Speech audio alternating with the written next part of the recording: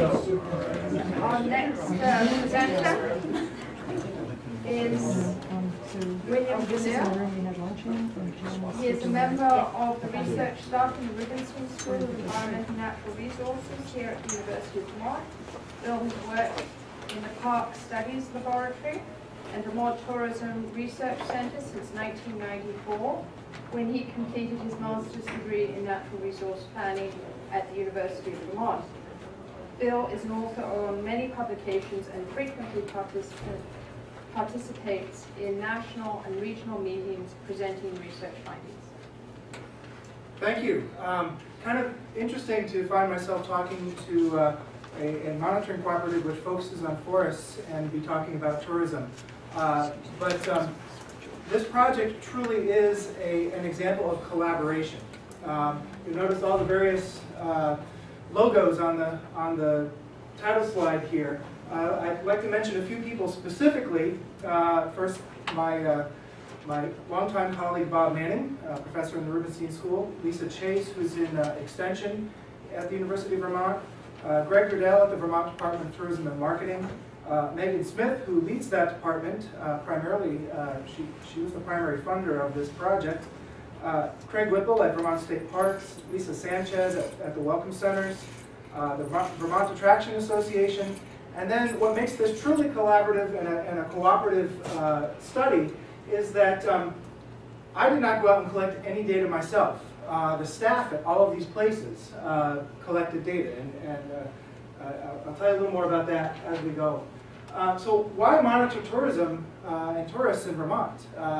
Well, tourism is, a is of vital importance to the Vermont economy. I think we all know that it's one of the major players in, in the industry, in industry in Vermont.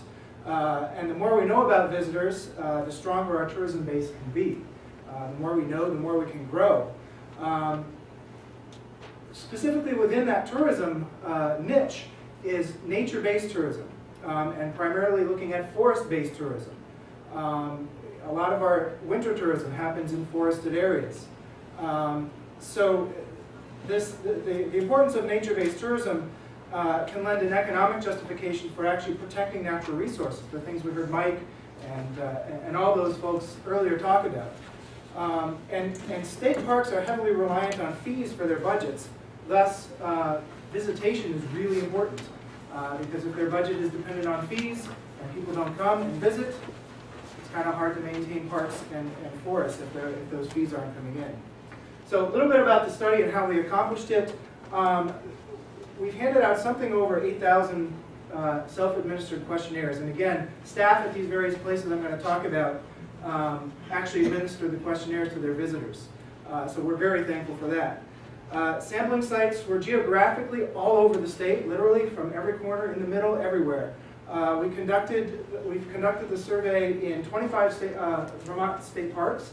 Um, all of those had campsites, camping, uh, campgrounds in them. We, uh, we, we distributed surveys at eight of Vermont's welcome centers. And uh, actually, this number is incorrect. There's not 13. We're, there are 16 attraction sites across the state uh, that, we, that we've distributed questionnaires.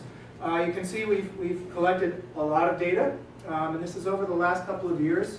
Uh, primarily in the summer, and that's one limitation I'll talk about when we, when we start looking at the number of children in groups. Um, uh, we haven't had a lot of response from ski areas where you'd expect to see a lot of families with children. And so that's one limitation of our data. Um, we used an adaptive strategy. That is, if something didn't work at a specific site, we'd work together to find out what would work to get their uh, visitors to actually fill out the survey. Um, places uh, handed out three to four completed, uh, got three to four completed questionnaires per day. Now that doesn't sound like a lot, and that was the idea. We didn't want to make it burdensome on the staff. But if you do that every day over two years, suddenly you've got a lot of questionnaires. Um, and uh, some of these businesses are only open in the summertime, so you know, they drop out of the sample in the wintertime, that sort of thing. Um, the establishments selected certain times of day that they would hand out surveys, and then the next uh, visitor to enter the, the establishment would be asked to participate. If they said yes, they got a survey. If no, they'd ask the next group until they got those three per day. Um,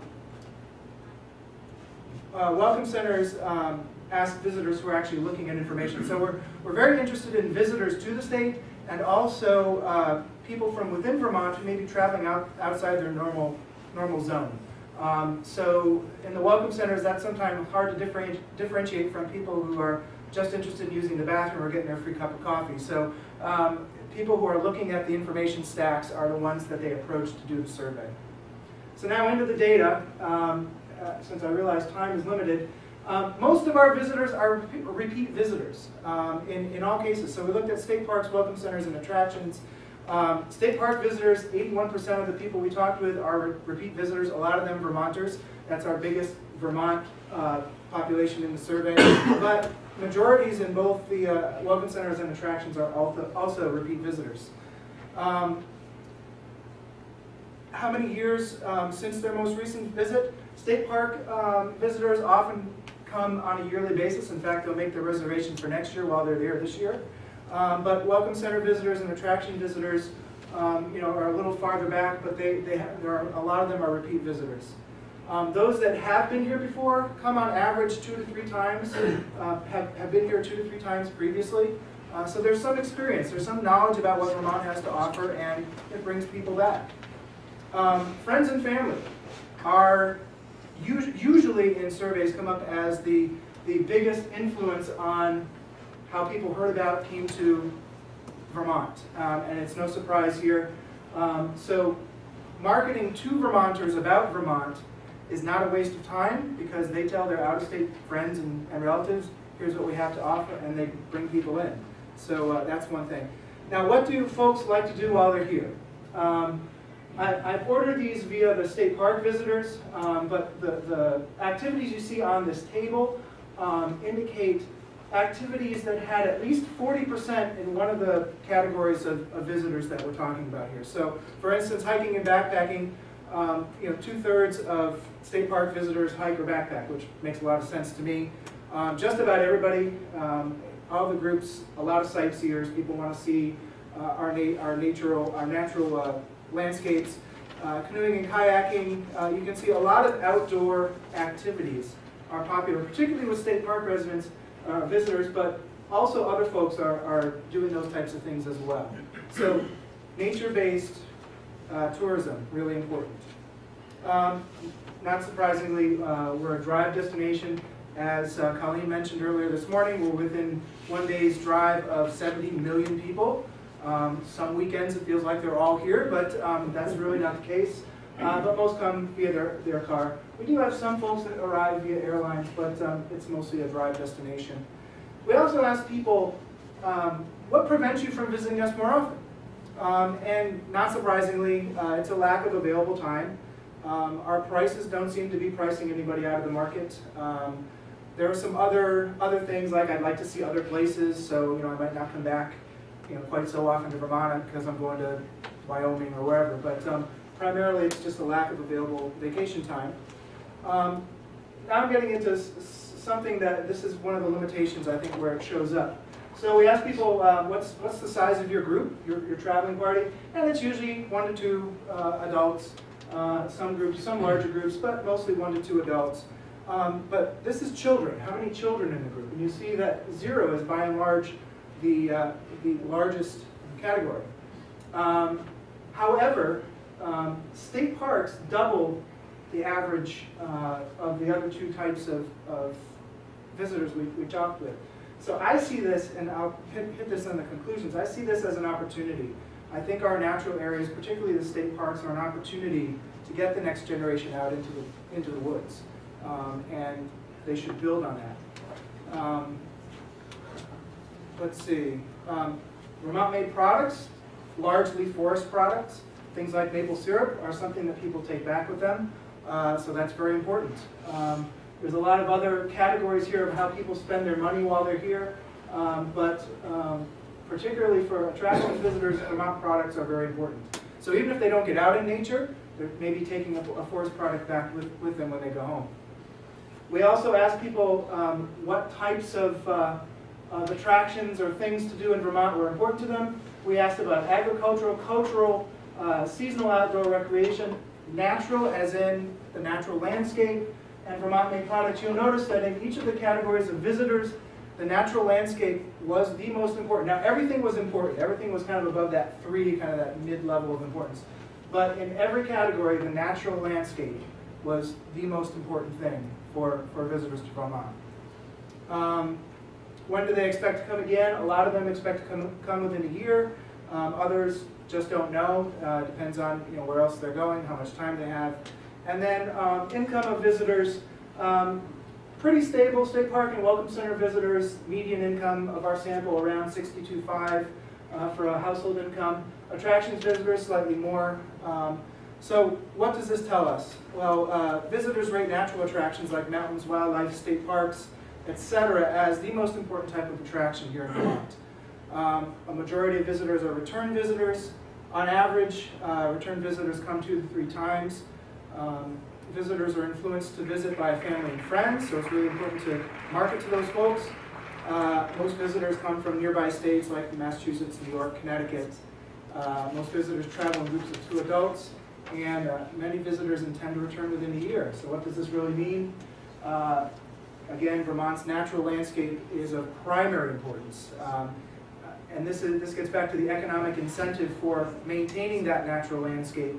Um, this gives, uh, you know, gives our legislators some, some ammunition when they go, or, or our, our constituents some, some uh, ammunition when they go to the legislature and say we need to protect these places, not just because it's the right thing to do, but also because our visitors expect it. Um, because many visitors return, they're knowledgeable about what the state has to offer.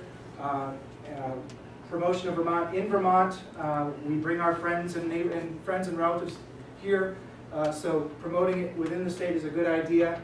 Um, Vermont State Parks offer that opportunity to introduce the next generation to the outdoors. And finally, Vermont-made products are, are important and can serve as a reminder of Vermont to people even if they don't get out into nature. I'm done.